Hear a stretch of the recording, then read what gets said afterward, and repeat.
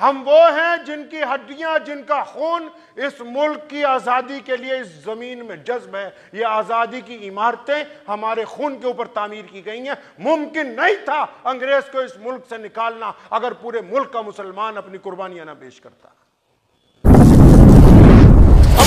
अकबर।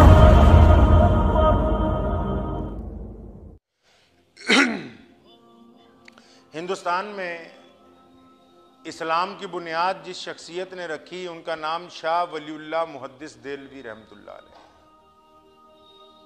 जितनी भी शाखें आज इस्लाम की हिंदुस्तान में मौजूद हैं दारुल देवबंद नदवतुलमा बरेली शरीफ, अजमेर शरीफ, कलियर शरीफ, तमाम बुनियादें जहाँ से निकली हैं, उस शख्सियत का क्या नाम है भाई? हज़रत मौलाना शाह वलीउल्लाह मुहद्दिस देहलवी रहमतुल्लाह।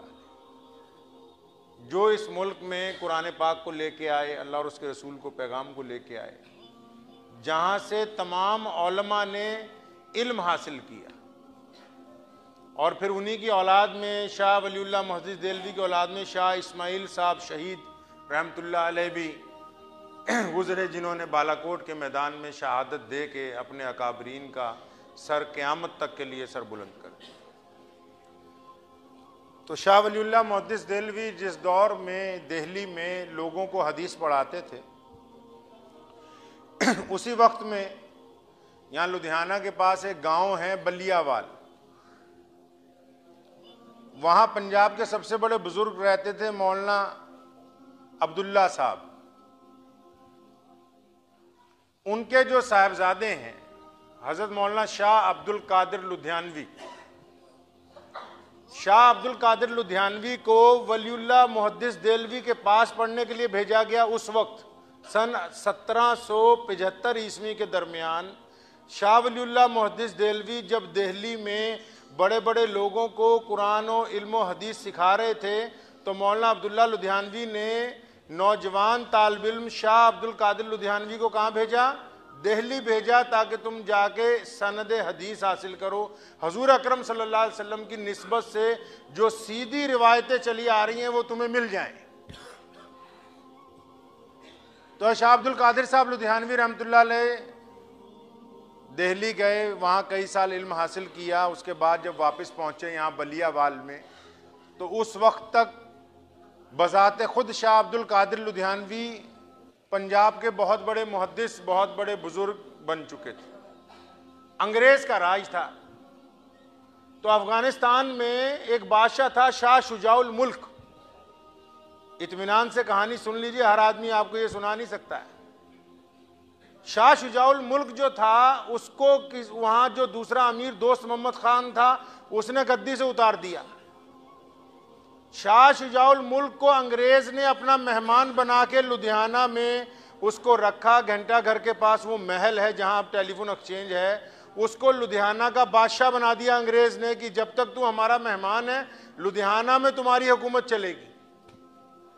शाह शुजाउल मुल्क और उसका भाई शाह जमान दोनों भाई लुधियाना में रहने लगे तो उनको किसी ने बताया कि बलियावाल एक गाँव है, वहाँ पंजाब के बड़े बुज़ुर्ग मौलाना शाह अब्दुल कादिर साहब लुधियानवी रहमत रहते हैं, अगर तुम उनसे बैत हो जाओ, तुम्हारी बिगड़ी हुई बात बन जाए।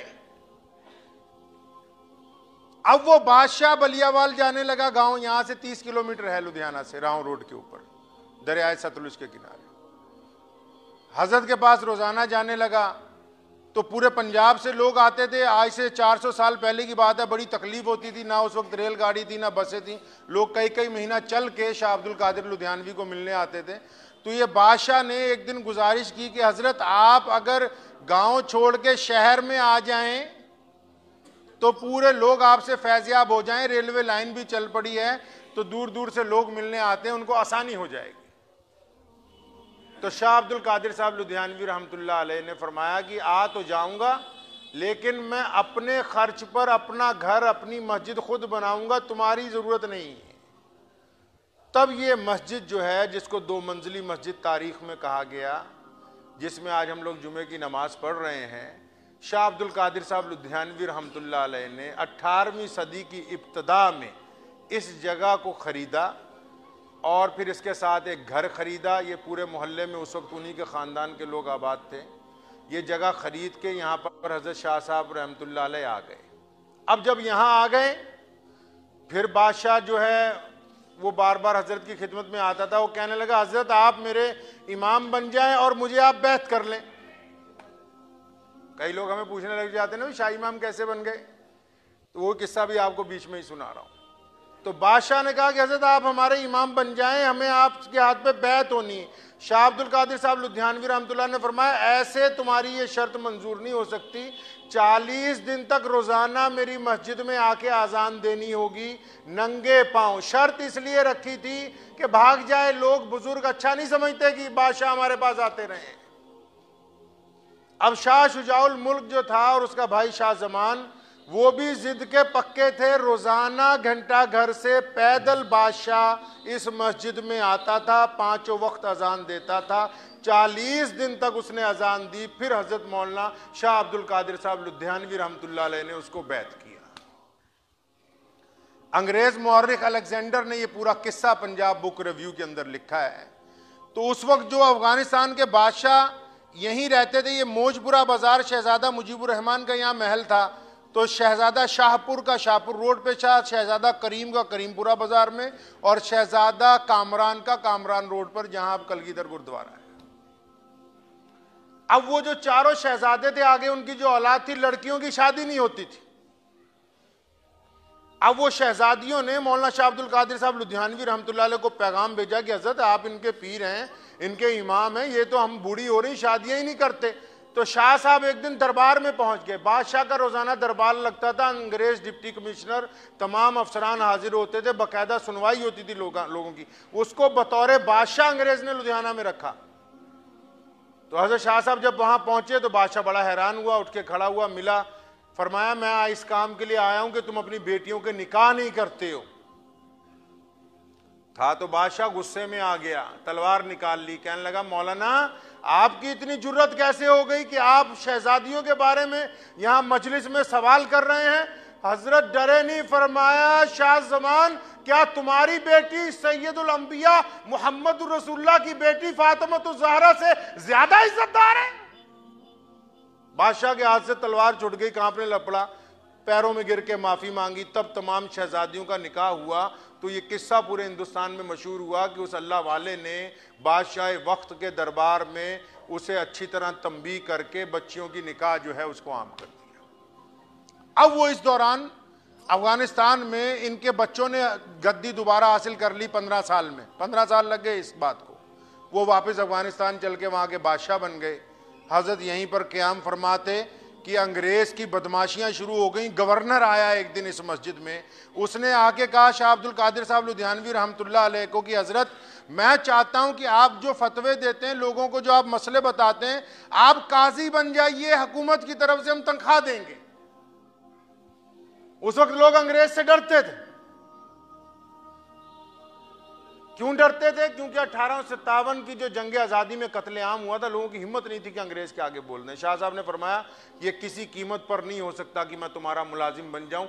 जबकि उसी दौरान दिल्ली से लेकर कलकत्ते तक, हिंदुस्तान के 20 बड़े मौलवी अगर आप तारीख उठाएँगे, उन्होंने अंग्रेज़ की नौकरियाँ भी ली, अंग्रेज़ की अदालतों में काजी भी बने, तनख्वाहें भी लेते रहे, अंग्रेज़ की वफादारियाँ भी करते रहे। शाह अब्दुल कादिर लुधियानवी रहमतुल्लाह ने फरमाया, ये क्यामत तक हो ही नहीं सकता कि मैं तुम्हारी मुलाजमत इख्तियार कर। गवर्नर इस मस्जिद से खैर वापस चला गया तो इस दौरान बहादुर शाह ज़फ़र का एलची यहाँ पहुँचा।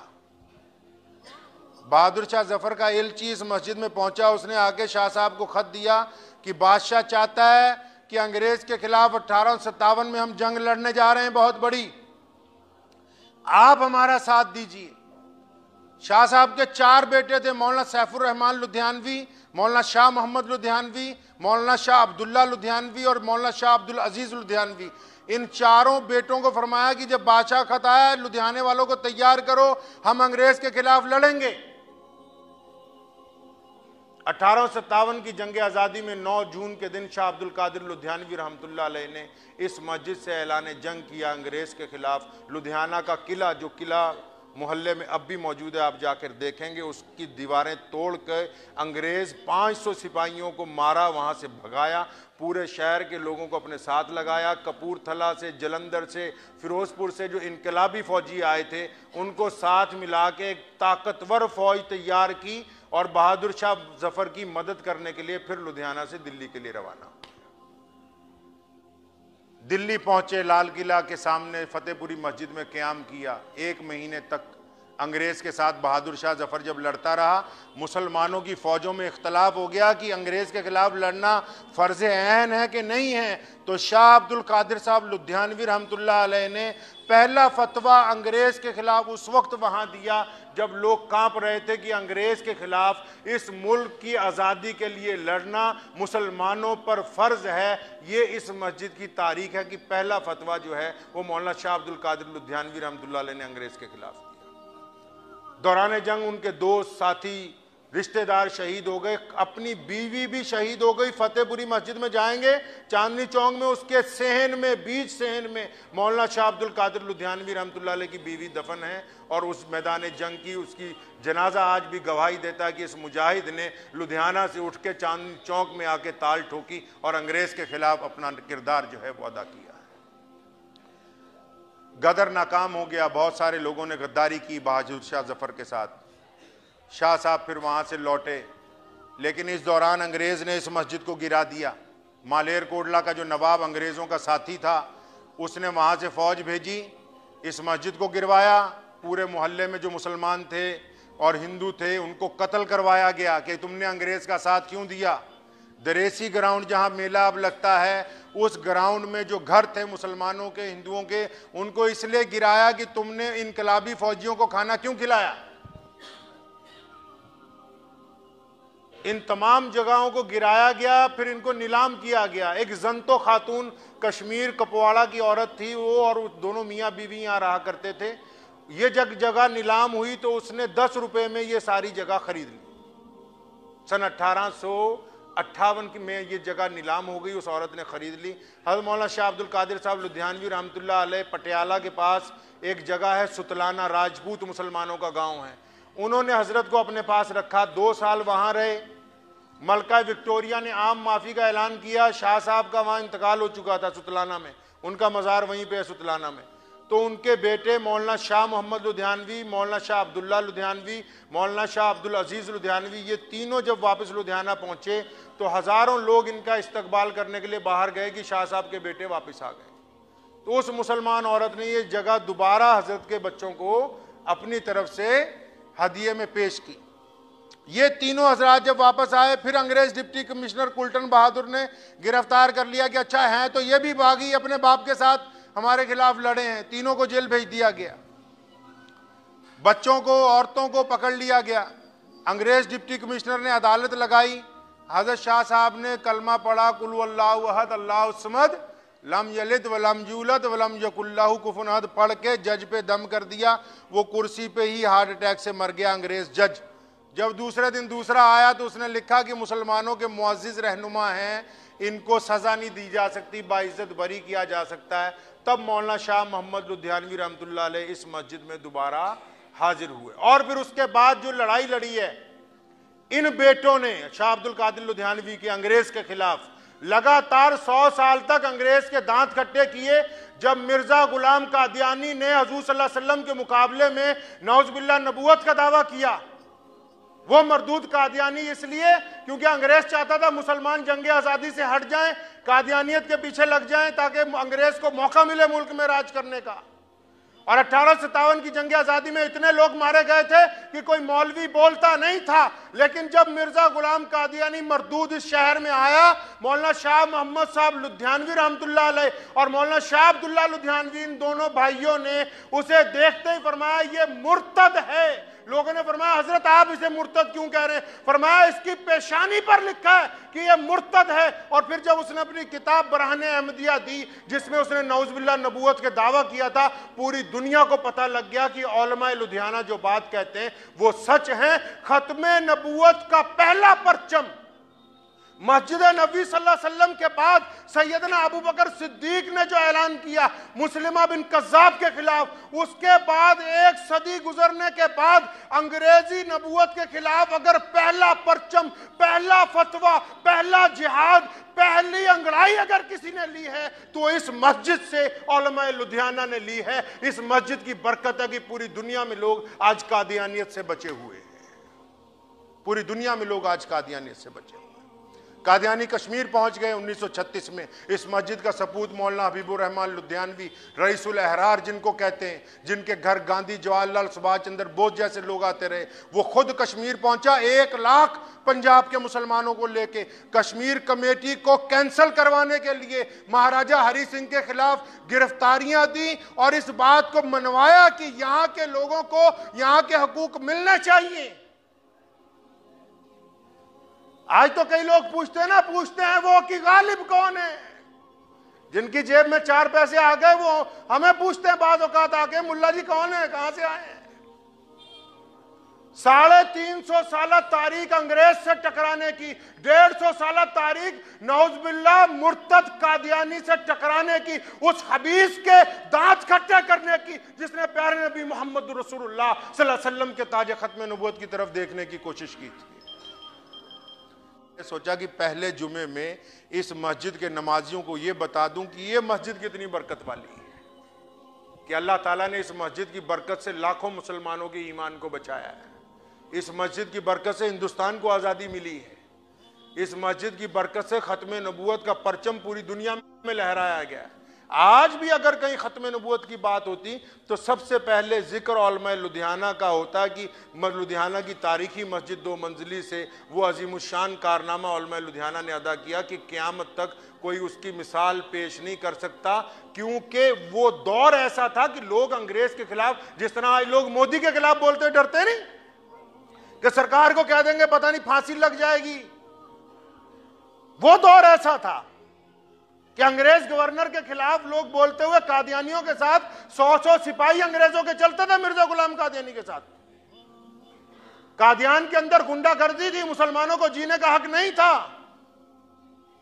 वो ये समझते थे कि नौजबिल्ला हम नबूत पर डाका डालेंगे, हिंदुस्तान में हमारे खिलाफ कोई नहीं बोलेगा, लेकिन मौलाना शाह मोहम्मद लुधियानवी रहमत और उनके दोनों भाई मौलाना शाह अब्दुल्ला और शाह अब्दुल अज़ीज़ ने उस वक्त डंके की चोट पर कादियानियत के गिरेबान में हाथ डाल के ये बता दिया कि मुसलमान चाहे जितना मर्ज़ी कमज़ोर हो, मुसलमान चाहे दाढ़ी वाला हो या बिना दाढ़ी वाला हो, मुसलमान चाहे नमाजी हो या बेनमाजी हो, दुनिया की तमाम बुराइयाँ हम में हो या तमाम अच्छाइयाँ हम में हो, हम तमाम बातें बर्दाश्त कर सकते हैं, लेकिन मोहम्मद रसूलुल्लाह की जात पर कोई उंगली उठाए, इसको हर किस बर्दाश्त नहीं कर सकते तो यही हमारा ईमान है। जो इस मस्जिद का पैगाम था, यही हमारा ईमान है कि हमारी मोहब्बत का अव्वल और आखिर कौन है भाई? हज़रत मोहम्मद रसूलुल्लाह सल्लल्लाहु अलैहि वसल्लम। ज़ोर से कहिए, सल्लल्लाहु अलैहि वसल्लम। वक्त भी हो गया इंशाल्लाह तफसीली बयान। अब आइंदा जुमे करूँगा, उसमें कुछ ये बताऊँगा कि उन्नीस के बाद क्या हुआ। और इस मस्जिद को ये भी फ़ख्र हासिल है कि उन्नीस में जब पंजाब की सारी मस्जिदें बंद हो गई, सारी। एक भी जहाँ पर अजान नहीं होती थी तो ये पहली मस्जिद है जहाँ अल्लाह अकबर की सदाएँ जो हैं वो बुलंद हुई। ये वो पहली मस्जिद है।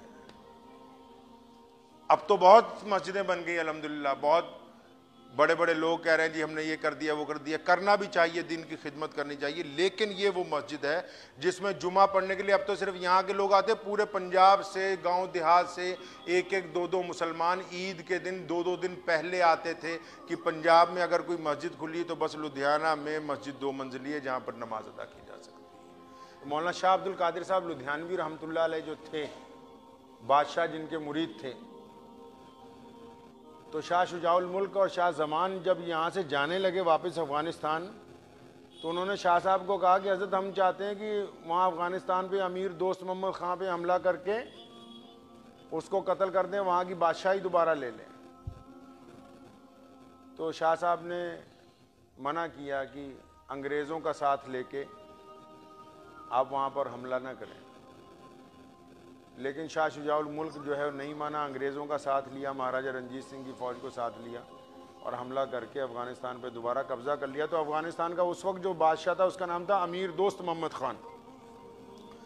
तो अमीर दोस्त मोहम्मद ख़ान को अंग्रेज़ ने कैद कर लिया।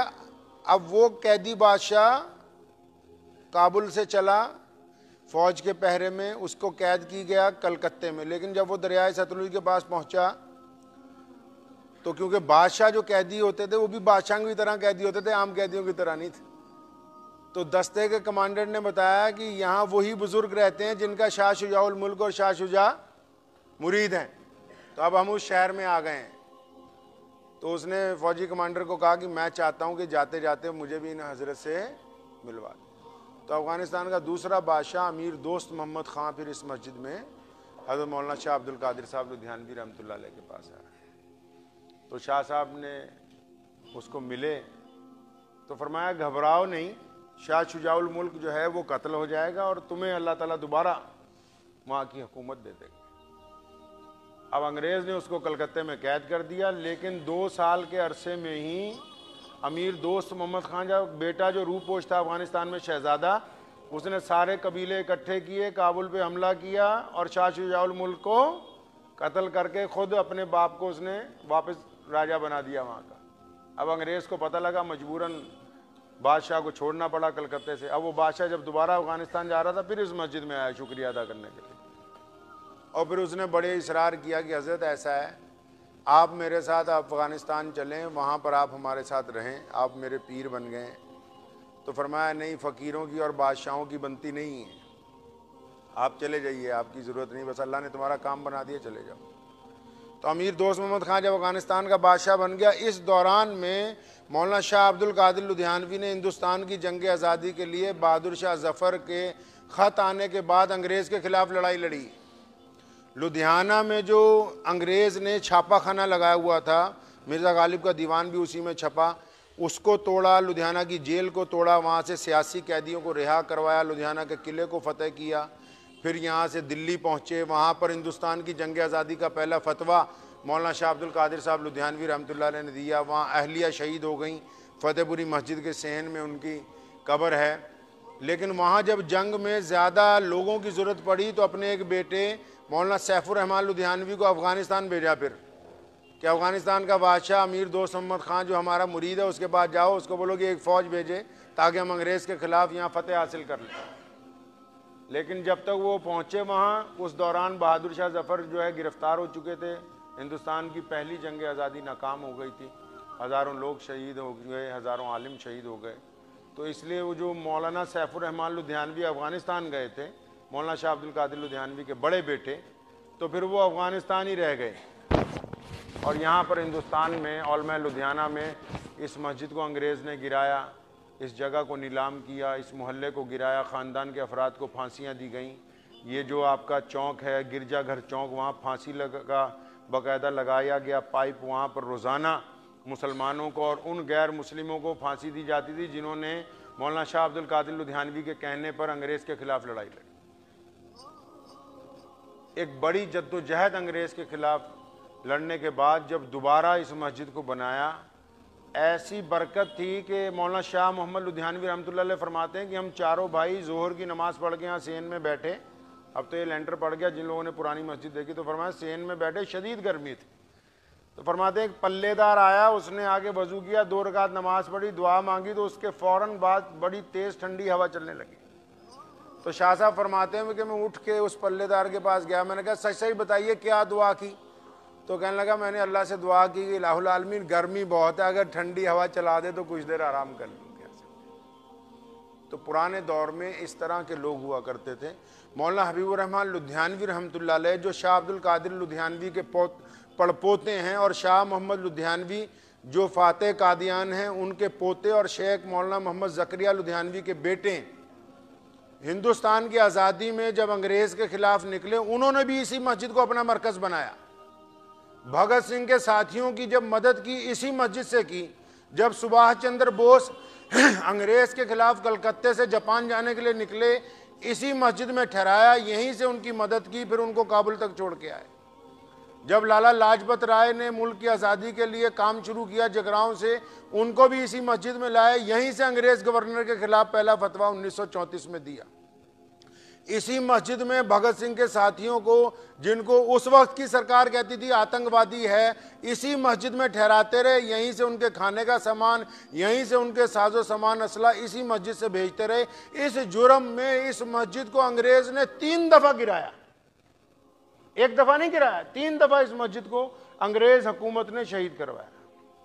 और तीनों दफ़ा ओलमा लुधियाना ने, मौलाना शाह अब्दुल कादिर लुधियानवी ने पहले, फिर मौलाना शाह मोहम्मद साहब लुधियानवी ने दोबारा, उनके बेटों ने, मौलाना शाह जकरिया लुधियानवी रहमत ने, और फिर रईसुल अहरार मौलाना हबीबुररहमान लुधियानवी जो हिंदुस्तान की जंग आज़ादी का चोटी का कायद है, कि जब वो यहाँ होता था तो जवाहरलाल अगर लुधियाना आए तो उनको भी यहाँ आना पड़ा, गांधी जी जब आए उनको भी यहाँ आना पड़ा। मौलाना हबीब रहमान लुधियानवी ने अंग्रेज़ के खिलाफ जितने लीडर हैं हिंदुस्तान में किसी ने दो साल कैद काटी, चार साल, पाँच साल, छह साल। सिर्फ़ मौलाना हबीब रहमान लुधियानवी के ऐसा कायद है जिसने चौदह साल लगातार अंग्रेज़ के खिलाफ कैद काटी और कोई ऐसा हिंदुस्तान का उस वक्त शहरी नहीं था, कोई ऐसा बड़ा कायद नहीं था जो मौलाना हबीब रहमान लुधियानवी के लिए उठ के ना खड़ा होता हो। जिस दिन मौलाना हबीब रहमान लुधियानवी रहमतुल्लाह को पहली बार गिरफ़्तार किया गया इस मस्जिद से, यहीं से तो ये हथकड़ियाँ पहनाई गई तो फरमाया दरवाजे पे खड़े होके कि अब मैं इसलिए खुश हूँ कि मैं उन लोगों में शामिल हो गया हूँ जिनके हाथ में इसलिए कड़ियाँ पहनाई जाती हैं कि वो हक के रास्ते के ऊपर चलते हैं। कि वो इंसाफ के लिए लड़ाई लड़ते हैं। जब जज जज जो था, गैर मुस्लिम अंग्रेज़ का, विद्यासागर उसका नाम था। पंजाब का ही था, लेकिन अंग्रेज़ का जज था तो कहने लगा, मौलाना साहब, मैं चाहता तो हूँ, आपको छोड़ दूँ, लेकिन डिप्टी कमिश्नर का हुक्म है कि सजा दो।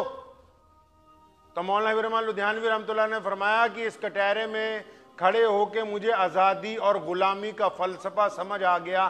तुम जज की कुर्सी पर बैठकर भी अंग्रेज़ के गुलाम हो, मैं कटहरे में खड़ा होकर भी आज़ाद हूँ।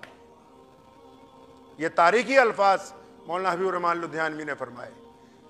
दूसरे मुकदमे में अंग्रेज़ डिप्टी कमिश्नर ने कहा कि आप अगर मान लें, सिविल नाफरमानी की तहरीक चलाई कि कोई आदमी अंग्रेज़ की कचहरी में ना जाए, कोई आदमी अंग्रेज़ की कॉरपोरेशन में मत जाए, कोई आदमी अंग्रेज़ की सरकारी मदद ना ले। जब ये तहरीक चलाई, फिर अंग्रेज़ ने उठा लिया। जब वो तहरीक चलाई तो जब जज ने कहा कि मौलाना, अगर आप अपना जुर्म मान लें मैं आपको रिहा कर दूँगा। फरमाया, अंग्रेज़ जालिम है, ये मेरे देश की धरती है। अगर मैं अपने मुल्क की आज़ादी के खिलाफ बोलना तुम्हारे नज़दीक जुर्म है तो हबीबुर रहमान अपना जुर्म कबूल करता है। तुम जितनी सज़ा दे सकते हो, दे दो। आज तो कई लोग पूछते ना गैर मुस्लिम के तुम कौन हो?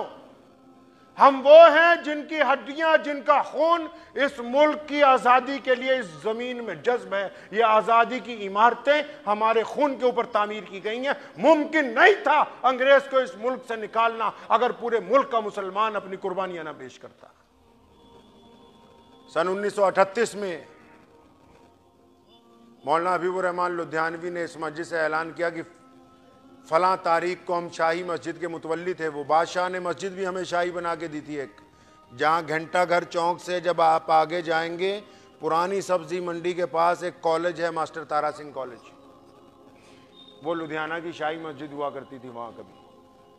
तो वो मौलाना हबीबुररहमान लुधियानवी के जो जद्द अमजद थे मौलाना शाह अब्दुल कादिर लुधियानवी, जिनका मैंने आपको ज़िक्र किया, बादशाह ने वो मस्जिद बना के इनको सपोर्ट की थी कि हज़रत आप इसके मुतवली आपकी पेश खिदमत है। तो मौलाना विरमान लुधियानवी ने ऐलान किया भी शाही मस्जिद में फ़लाँ तारीख को जिस दिन रावी के किनारे पे जवाहरलाल ने आज़ादी का झंडा लहराना है तो हम भी यहाँ लहराएँगे।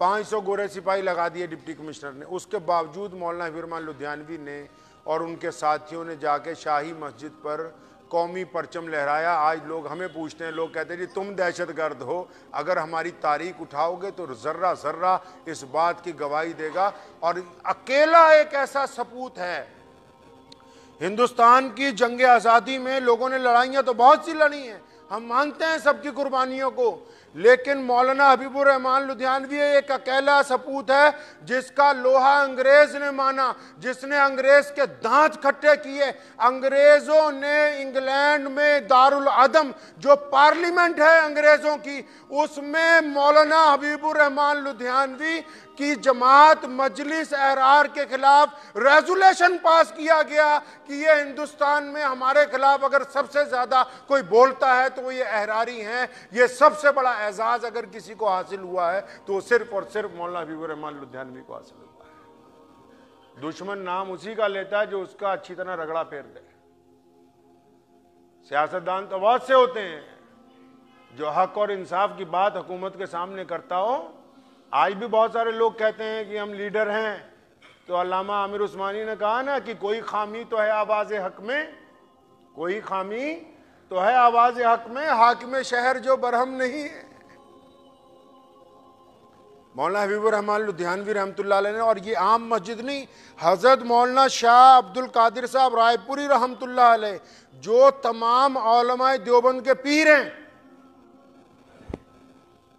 जितनी बार भी लुधियाना तशरीफ़ लाए, सीधा पहले मस्जिद दो मंजिली में तशरीफ़ लाते थे हज़रत, और यहीं पर नमाज़ पढ़ के फिर वो घर पे, हबीब रोड पे जो घर है मौलाना विरमन लुधियानवी का, वहाँ क्याम फरमाया।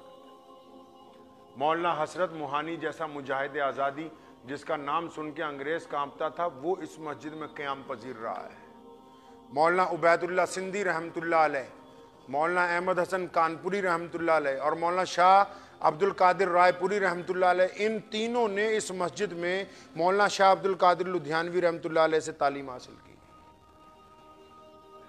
नूरानी कायदा जो आप पढ़ते हैं, जो नूरानी कायदा पढ़ते नहीं आप, अली बा ता सा, वो कहीं बाहर से नहीं आया जिसको आज पूरी दुनिया के मुसलमान पढ़ के कुरान पढ़ना सीखते हैं वो मौलाना शाह अब्दुल कादिर साहब लुधियानवी रहमत की औलाद में मौलाना नूर मोहम्मद लुधियानवी रहमत एक बहुत बड़े बुज़ुर्ग गुजरे हैं। उन्होंने जो नूरानी कायदा लिखा तो उसके बाद आसान हुआ कुरान शरीफ पढ़ना।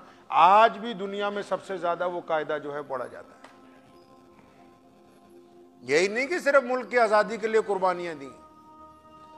इस्लाम के लिए बराबर साथ में। मौलाना हबीब रहमान लुधियानवी जब अंग्रेज़ के खिलाफ लड़ रहा था, कादियानियों ने कश्मीरी मुसलमानों को कादियानी बनाने के लिए एक कमेटी बनाई।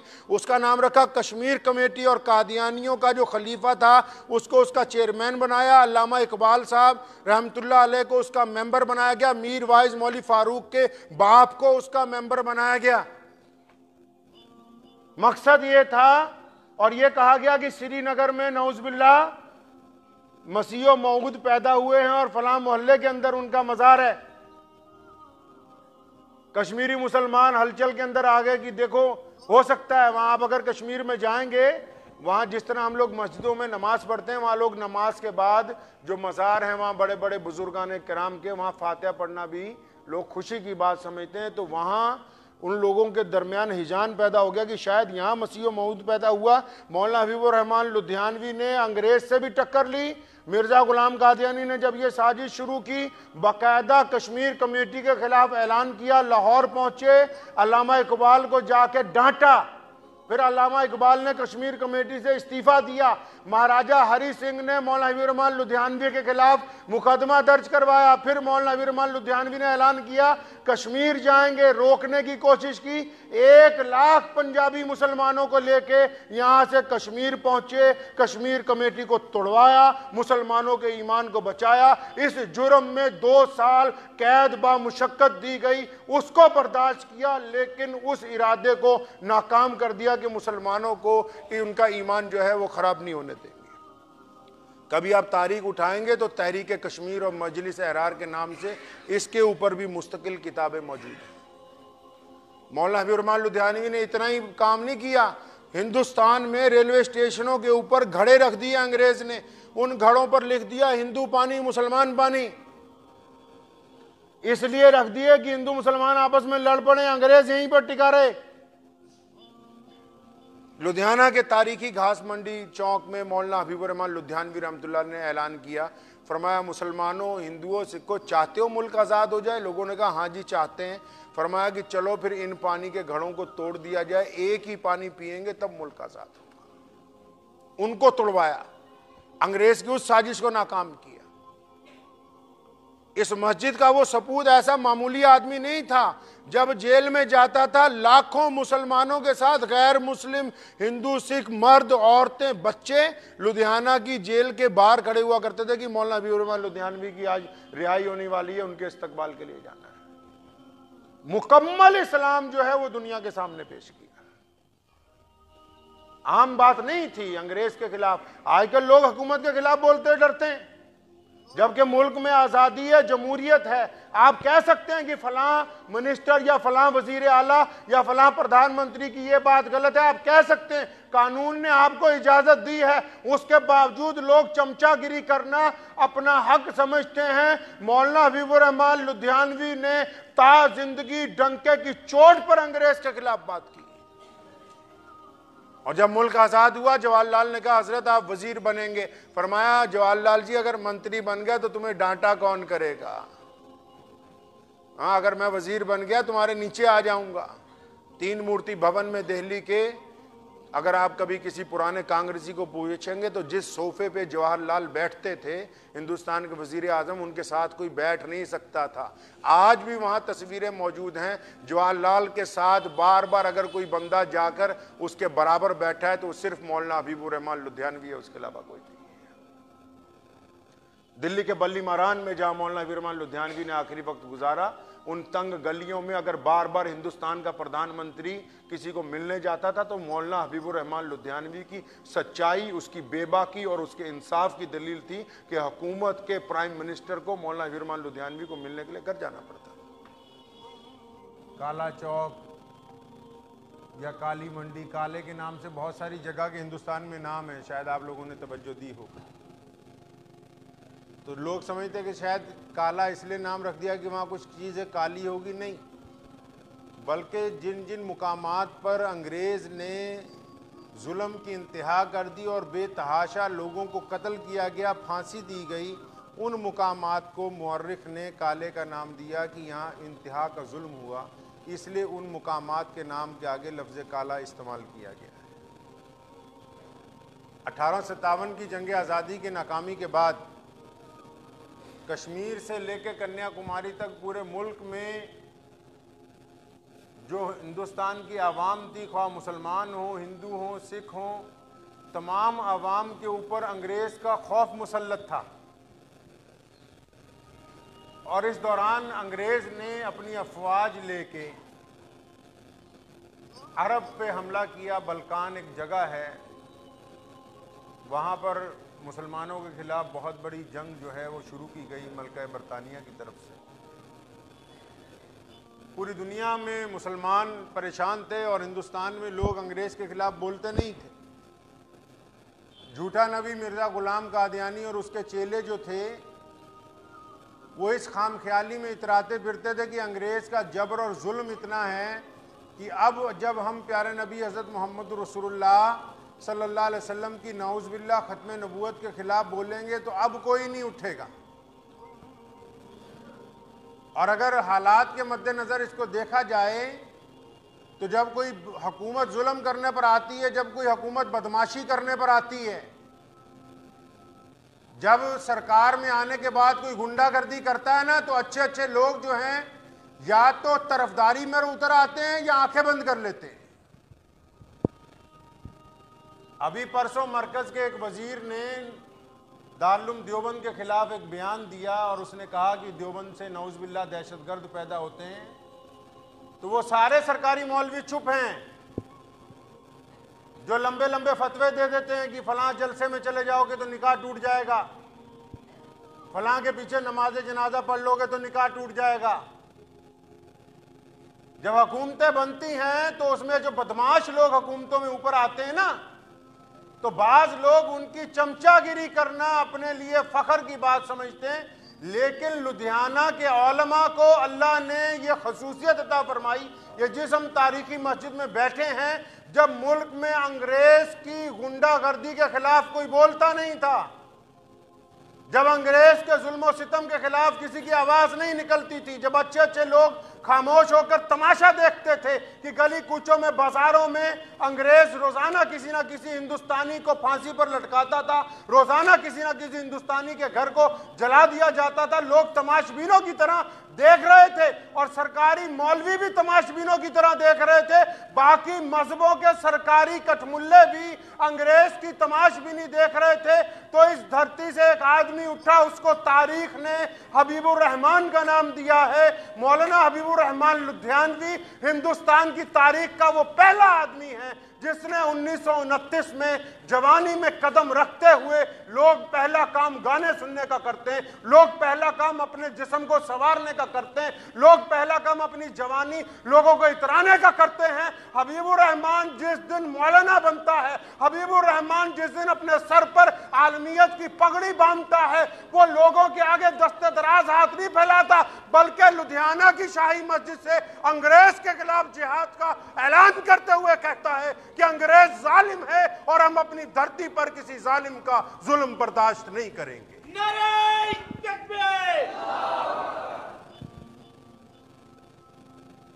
ये तारीख है मौलाना हबीबुर रहमान लुधियानवी को जब लुधियाना की विद्यासागर जज था अंग्रेज़ का। उसकी अदालत में अंग्रेज़ डिप्टी कमिश्नर कुल्टन बहादुर ने जब पेश किया कि ये मौलवी सरकार के खिलाफ बोलता है ये कहता है कि अंग्रेज़ इस मुल्क में नहीं रह सकता। तो विद्यासागर जज ने जो बात कही और मौलाना हबीबुर रहमान ने जो कही, उसको दिल की तख्ती पर लिख के ले जाइए। जज अंग्रेज़ था, लेकिन था भारतीय मूल का। कहने लगा, मौलाना साहब, मुझे आपसे बड़ी हमदर्दी है और मैं नहीं चाहता कि आपको सजा दूँ। लेकिन अंग्रेज़ डिप्टी कमिश्नर का हुक्म है, इसलिए मैं मजबूर हूँ आपको सजा देने के लिए। तो मौलाना हबीबुर रहमान लुधियानवी ने अदालत के कटहरे में खड़े होकर तारीखी बात कही थी, फरमाया कि आज़ादी और गुलामी का फ़लसफ़ा आज मुझे इस कटहरे में खड़े होकर समझ में आ गया। तुम जज की कुर्सी पर बैठकर भी अंग्रेज़ के ग़ुलाम हो, मैं कटहरे में खड़ा होकर भी आज़ाद इंसान सन उन्नीस सौ उनतीस के बाद मौलाना हबीबुर रहमान लुधियानवी ने इस मस्जिद से मुल्क की आज़ादी की जो तहरीक बर्पा की है, कभी किसी ने कहा कि मुसलमान और हिंदू अलग अलग पानी पिएँगे तो मौलाना हबीबुर रहमान उस पानी के ख़िलाफ़ लड़ता हुआ हिंदुस्तान में नज़र आया कि नहीं, हमने मुल्क आज़ाद कराना है, हम एक पानी पिएँगे कभी किसी ने कहा कि मुसलमान और हिंदू आपस में मिलजुल कर अंग्रेज़ के ख़िलाफ़ नहीं लड़ेंगे। बाकायदा एक तहरीक चलाई गई तो मौलाना हबीब रहमान लुधियानवी ने इसी तारीखी मस्जिद में लाला लाजपत राय को ला के बिठाया। उनका सम्मान किया, अंग्रेज़ ने लाठी चार्ज किया, ख़ुद भी लाठियाँ खाई, लेकिन लाला लाजपत राय के जिसम पर खरोंच नहीं आने दी। मिर्ज़ा गुलाम अहमद कादियानी के चेलों ने उस दौर में भी अंग्रेज़ की ताकत लेके कोशिश की मुसलमानों के ईमान को बिगाड़ने की, कोशिश की अहले ईमान को बरगलाने की। मौलाना हबीबुर रहमान लुधियानवी ने लुधियाना से उठ के और फिर कादियान में जाके मस्जिद ख़त्म नबूत की तामीर कराई। वहाँ के मुसलमानों के ईमान को महफूज किया, ये साबित किया कि अगर हुक्मरान जालिम हो तो अहल हक मोहम्मद रसूलुल्लाह की सुन्नत को बयान करना नहीं छोड़ सकते। आज अगर मोदी सरकार का कोई वज़ीर दारुल देवबंद के खिलाफ बोले तो सरकारी मौलवी चुप रह सकते हैं।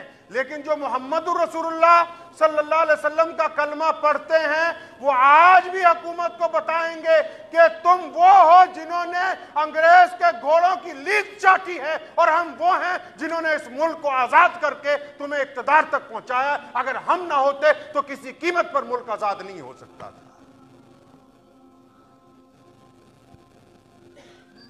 तारीख जो है मुसलमानों की, जब कभी मैं इस मस्जिद की तारीख पढ़ता हूँ, यहाँ के जो बुज़ुर्ग यहाँ पर गुज़रे हैं, यहाँ पर ख़ासकर हज़रत मौलाना शाह अब्दुल कादिर साहब रायपुरी रहमतुल्लाह अलैह और मौलाना उबैदुल्ला सिंधी रहमतुल्लाह अलैह, ये दो बड़े बुज़ुर्ग और मौलाना अहमद हसन कानपुरी, हिंदुस्तान के ये तीन बड़े बुज़ुर्ग ऐसे जैद हैं, जिनके करोड़ हाँ मुरीद हैं और ये तीनों बुज़ुर्ग अपने वक्त में इस मस्जिद में हज़रत मौलाना शाह अब्दुल कादिर साहब लुधियानवी अलैह के शागिर्द रहे, उनसे इल्म दीन हासिल किया, तीनों ने।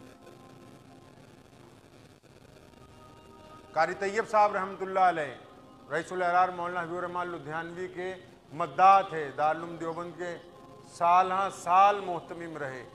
और ये मुमकिन नहीं था कि वो लुधियाना आए हों और सीधा दो मंजिली मस्जिद ना पहुँचे। हसरत मोहानी ने अंग्रेज़ के दांत खट्टे कर दिए। मौलाना हबीर रहमान लुधियानवी फरमाते कि मैं छोटा था तो एक ताकतवर किस्म का आदमी जिसकी बातों में खनक थी, आँखों में बड़ी चीते की तरह तेज़ी थी, कहने लगे, इस मस्जिद में मैं दाखिल हुआ तो मेरे वालिद मौलाना जकरिया का दोस्त था। तो उसने पूछा, कहाँ है मौलाना जकरिया? तो मौलाना लुधियानवी फरमाते हैं, मैंने कहा, अब्बा तो नहीं है, सफ़र पर गए हैं। फरमाया अच्छा चलो घर से बिस्तर वगैरह लाओ, कमरे में लगाओ, मैं आराम करूँगा। पता लगा कि ये वो बंदा है जिससे अंग्रेज़ के पाँव के नीचे से ज़मीन निकल जाती, लोग इसको हसरत मुहानी के नाम से जानते, पूरे मुल्क में इसकी आवाज़ का डंका बजता है। मौलाना हबीब लुधियानवी को अंग्रेज़ ने बारह कहा कि या तो खामोश रहो या फांसी का फंदा चूमने के लिए तैयार रहो। मोहम्मद अली जौहर को उठा के जेल में डाला रामपुर में। और पूरा मुल्क खामोश था। लेकिन मौलाना विरमान लुधियानवी ने बी अम्मा से मुलाकात की, मोहम्मद अली जौहर की अम्मा थी वो। फरमाया कि आप लुधियाना आइए, पूरे पंजाब में आपका इस्तकबाल होगा। बी अम्मा को जब सड़क पे लेके आए, लाखों मुसलमान हिंदू, सिख निकल के उनके साथ आ गए। अंग्रेज़ की हुकूमत परेशान हो गई कि बेटों को अंदर किया था तो ये अब माँ को लेकर मैदान में आ गए। फरमाया, माँ हमारे साथ आ गई है, अब अंग्रेज़ हमें शिकस्त नहीं दे सकता।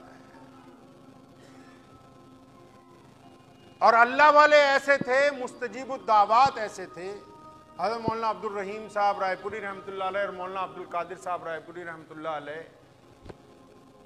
उन दोनों हजरात ने मुतद मरतबा इस मस्जिद में बैठ कर अल्लाह तबारक ताली से अपनी बात, अपने मुजाकरात, अपनी गुफ्तु जो है वो की। ऐसे ऐसे उलुल आज़म बुज़ुर्ग यहाँ पर मौजूद रहे। हैं गुजशत डेढ़ सौ साल की तारीख में।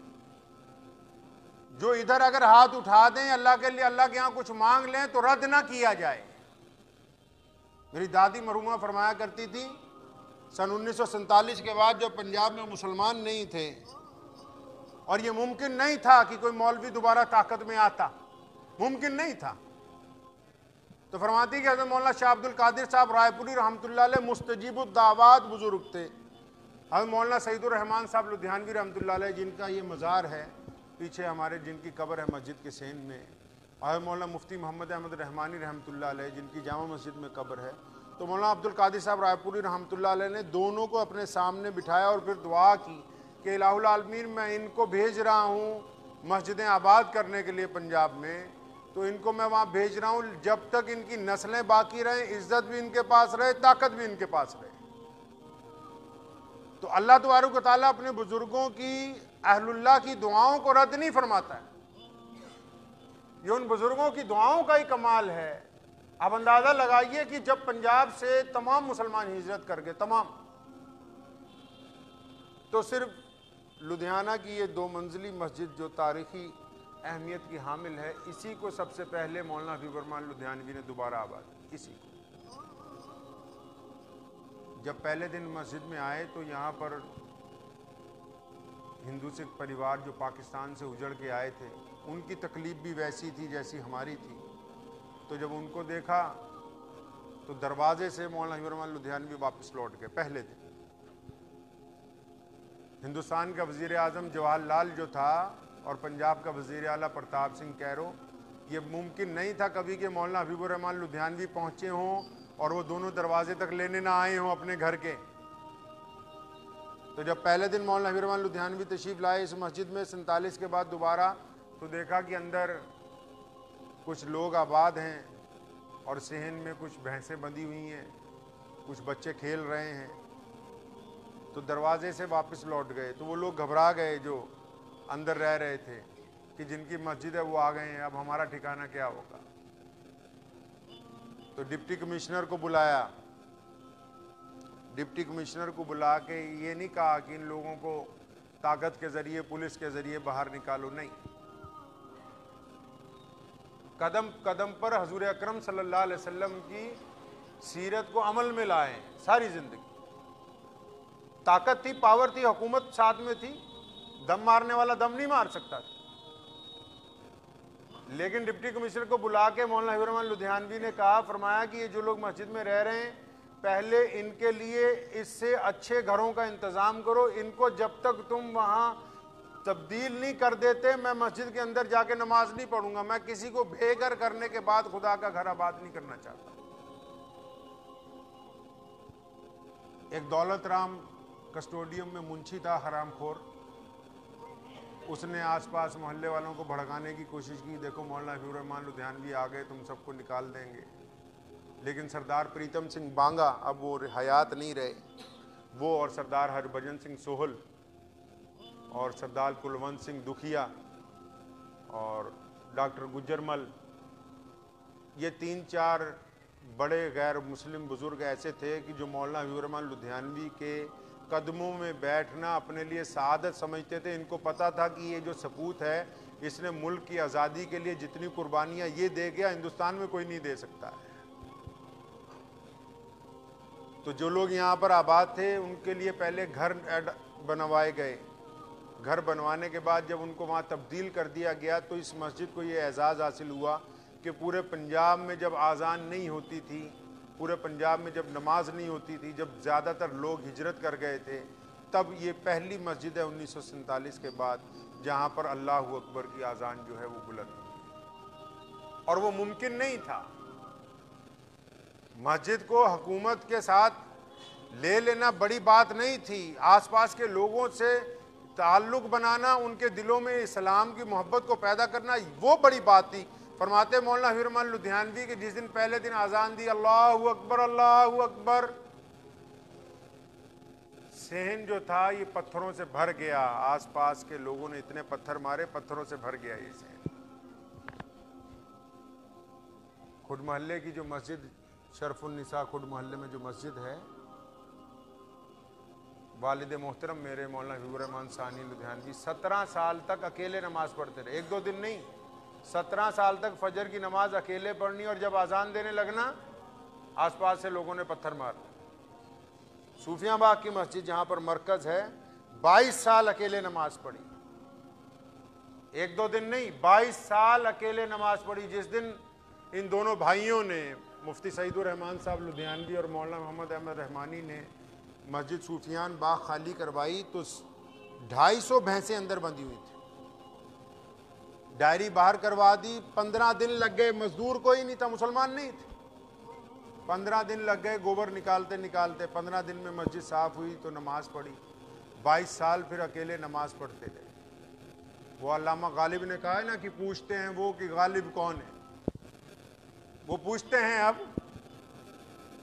जो बहुत बाद में आए, वो पूछते हैं, गालिब कौन है? फरमाते हैं, वो पूछते हैं वो कि गालिब कौन है? कोई बतलाए कि हम बतलाएँ क्या? वो मुद्दत ऐसी गुजारी कि लोग बर्दाश्त नहीं करते थे, अखबार निकाला फिर यहाँ से, अल हबीब के नाम से। एक दफ्तर बनाया अंजुमन हिमायत इस्लाम का, मुफ्ती सईदुररहमान साहब ने यहाँ। फिर पूरे यूपी का दौरा किया, बिजनौर गए, सहारनपुर गए, लखनऊ गए, मुरादाबाद गए। मुसलमानों को मस्जिदों में तकरीरें करके कहा कि आ जाओ लुधियाना, यहाँ काम करो। श्रीनगर पहुँचे। वहाँ जाके प्रोग्राम किए, वापस कहा मुसलमानों को कि वापस लौट के आओ, काम करो, आ जाओ, लुधियाना पहुंचो। दस साल इस मुद्दत में गुजार दिए, जब पहला जुमा पढ़ाया गया। पहला जुमा पढ़ाया गया, दोनों भाइयों के अलावा तीसरा आदमी नहीं था। दोनों भाइयों के अलावा तीसरा बंदा नहीं था। तो दिल्ली गए, दिल्ली से दो मुसलमानों को कहा कि हमारे साथ चलिए, वहाँ जुमा पढ़ाना है हमने पहला। उनका भाई, चलेंगे, लेकिन किराया तुम लगाओगे तो किराया दे के दो मुसलमानों को लेके आए कि आप आइए, लुधियाना में पहला जुमा पढ़ना है, तब पहली जुमे की नमाज़ जो है वो यहाँ अदा की और फिर लगातार मुद्दत गुजारी सन 1980 तक, जब पंजाब में आतंकवाद का दौर था। कोई लम्हा ऐसा नहीं गुजारा, जो बाहर से मुसलमान आता था, उसको अपने पास ठहराना, उसको काम करना, सिखाना। हर एक बड़े सरमायादार गैर मुस्लिम को बोलना है कि हमारा भाई है, इसको काम पे लगा लो। हर एक गैर मुस्लिम जितनी बड़ी तारीखी मस्जिदें थी, इस मस्जिद की ऐसी अल्लाह ने बरकत अता फरमाई कि जो लुधियाना की जामा मस्जिद है, फीलगंज चौक में, जिस दिन वो खाली करवानी थी, उसमें गुरुद्वारा बना हुआ था। तो अल्लाह ताला ने जब वो अता फरमाई तो जो आसपास के गैर मुस्लिम थे, वो ताउन करने वाले पहले मौजूद सरहन शरीफ चले गए।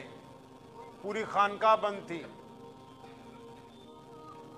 जवाहरलाल को बुलाया कि ये हज़रत शेख मुजद अल्फसानी रहमत की दरगाह है। इसका खाली होना सबसे ज़्यादा ज़रूरी है।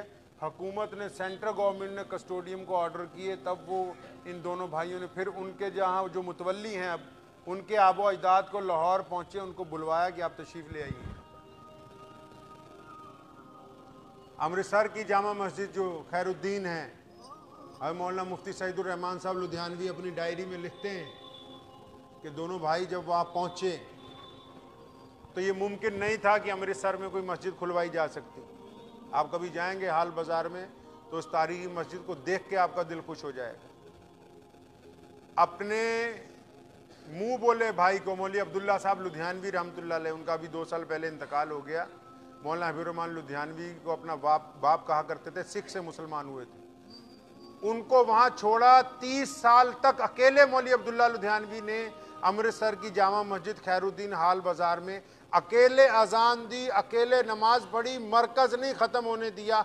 आज आप वहाँ चले जाइए, हर नमाज़ में सौ नमाजी होते हैं, दो सौ बच्चे मदरसे के अंदर पढ़ रहे हैं, लेकिन जिसने बुनियाद रखी है, क़्यामत तक उसकी कब्र के ऊपर उसका अजर पहुँचता रहेगा इन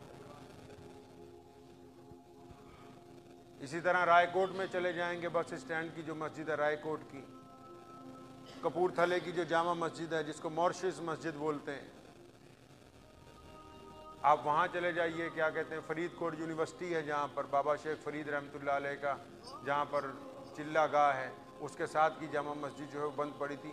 पंजाब में इस मस्जिद को आबाद कराने के बाद एक ही मकसद सामने अपने रखा।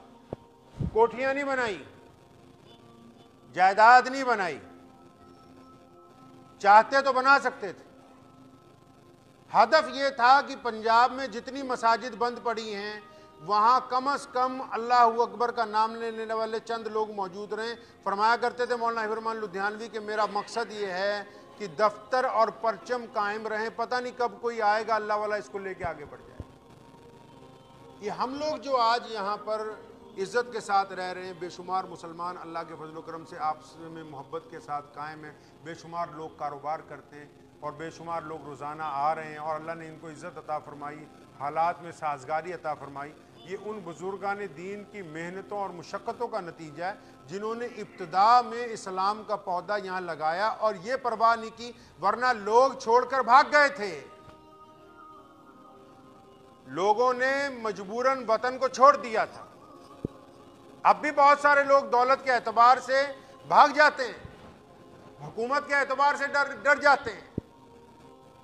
अब देखें ना, मोदी की हुकूमत है, उनका एक हदफ है कि मुल्क में फिरका परस्ती फैलानी, गुंडागर्दी करनी।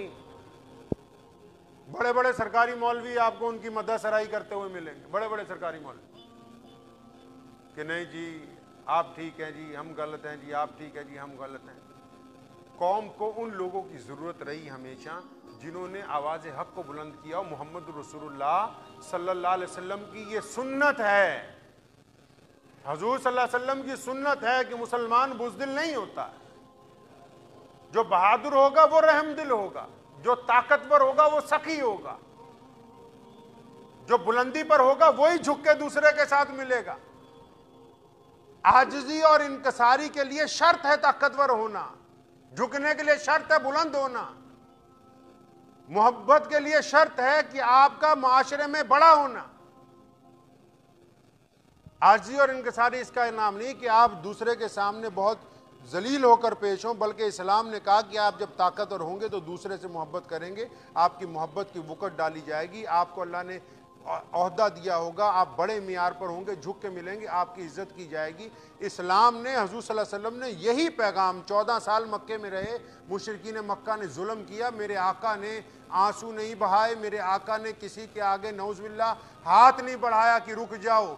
लेकिन जिस दिन मक्के में ताकत के साथ फतेह हो गई, पावर में आ गए, फिर जो आता रहा, सोने नबी ने कहा कि मैंने तुम्हें अल्लाह वास्ते माफ़ कर दिया है, पता ये लगा कि जब आप ताकतवर हो तो माफ़ करना आपकी ज़िम्मेदारी बनती है। माशरे को ताकतवर बनाकर आपस में मोहब्बत को कायम करना यही हमारी ज़िम्मेदारी है। जो लोग मुसलमानों पर, मुल्क की अकलियों तो के ऊपर बदमाशी करके कुछ कहना चाहते हैं कि जी फलां मुसलमान दहशत गर्द है या फलां मदरसा दहशत गर्द है, वो कान खोल के इतमान से सुन लो।